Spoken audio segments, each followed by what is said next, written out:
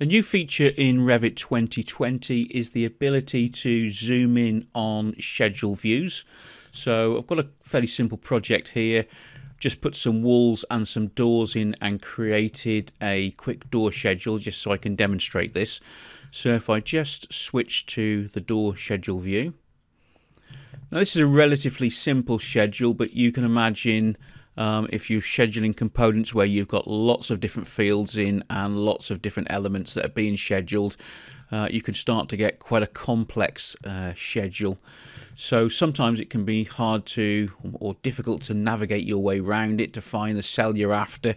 So now we have the ability to hold the control key down and roll the scroll wheel on your mouse and you can see you can actually zoom in and out of the schedule itself. So this might make it easier to drill down and to work on a particular part. So obviously still pan around and then zoom back out. So all I'm doing now is just holding the control key down on the keyboard and zooming in and out with the scroll wheel on the mouse.